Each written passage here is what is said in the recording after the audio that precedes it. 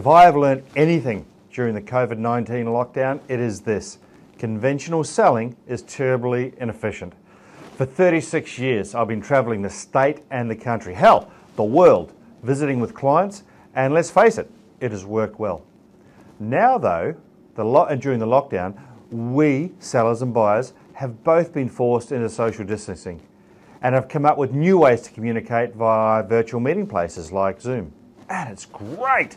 I mean, you don't have to travel half an hour, an hour, sometimes a day or more to make an appointment, only to find out for whatever reason the person you have the booking with has been called away.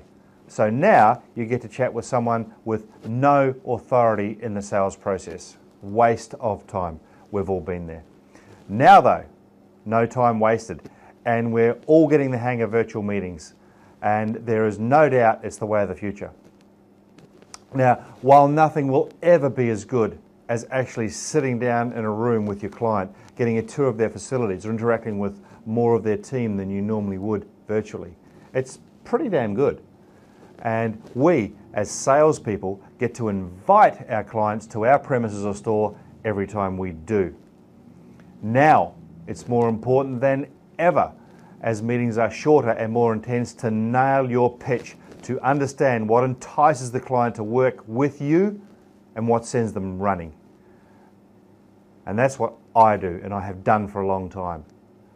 Now, sales is my passion. It's what I do. For me, selling is easy. So, follow me on Facebook, LinkedIn, Twitter, Instagram, YouTube, TikTok, and I'll share with you some tips that will grow your conversions and profit margins. Chat soon.